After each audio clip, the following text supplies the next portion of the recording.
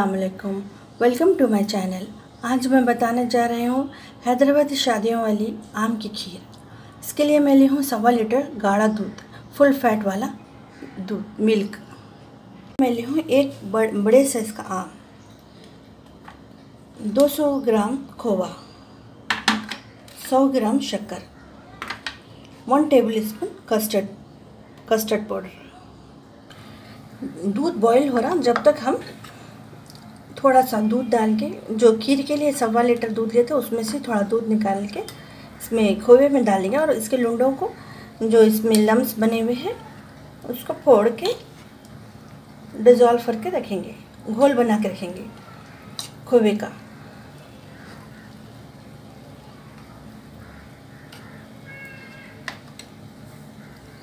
चलिए खोए में जो गुठलियाँ बनी हुई थी, उसको मैं दूध डाल के घोल बना के रख ली चलिए, दूध बॉईल होना शुरू हो गया और इसको एक पाँच से सात मिनट तक इसको अच्छे से पका लेंगे।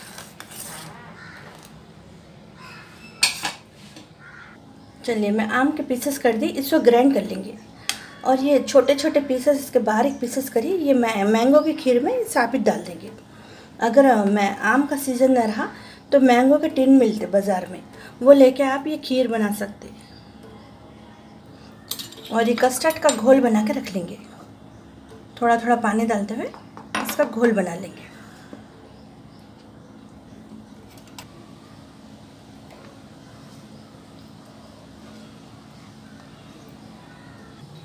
चलिए, दूध को मैं पाँच से सात मिनट तक अच्छे से इसको पका ली। अच्छा पक गया ये।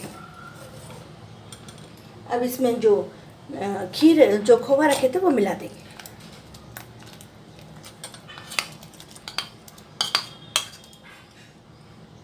खोवे के साथ शक्कर भी डाल देंगे। फ्लेम को धीमा करके शक्कर डाल के मिलाते जाएँगे। अगर खोवा आपके पास नहीं है, नहीं मिल रहा तो आप मिल्क मेड मिल्क मेड भी डाल सकते हैं।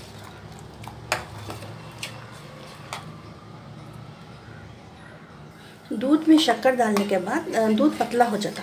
शक्कर जो घुल जाती डिज़ोल्व जाती, दूध पतला हो जाता। फिर दूध को एक पाँच से सात मिनट तक इसको अच्छे से पका लेंगे।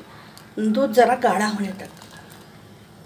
चलिए, शक्कर डालने के बाद, शक्कर और खोवा डालने के बाद पाँच से सात मिनट तक अच्छा सा पका ली मैं दूध को, थोड़ा गाढ़ा हो गया। अब इसमें जो कस्टर्ड का घोल बना के रखे थे, वो आहिस्ता से डालते जाएँगे, एक हाथ से डालते जाएँगे, दूसरे हाथ से चमचे से मिलाते जाएँगे। नहीं तो इसके गुटलियाँ बन जाती हैं। इससे कंसिस्टेंसी गाढ़ी होने तक इसको डालते जाएँगे और मिलाते जाएँगे।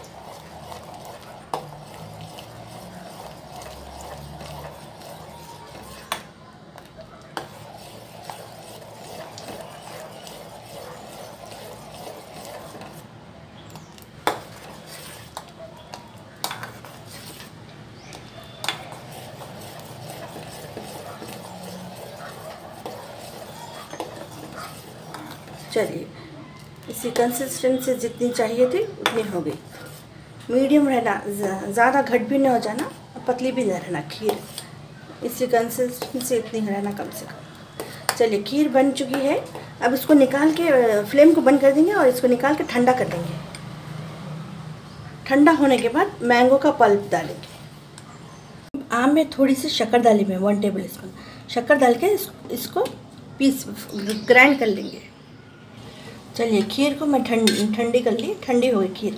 जो आम का पल्प निकाल के रखे थे वो इसमें मिला देंगे। अगर आम आ, रसा आम है रस का है तो आप वो वो भी डाल सकते हैं रस निकाल के।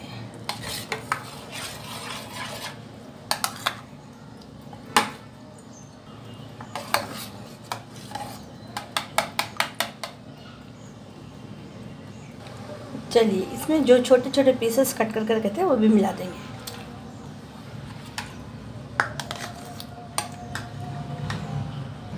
चलिए सर्विंग बॉल में डालेंगे। इसके ऊपर से थोड़े कटे हुए पिस्ते और कटे हुए बादाम। सर्व करते हुए ऊपर से डालेंगे।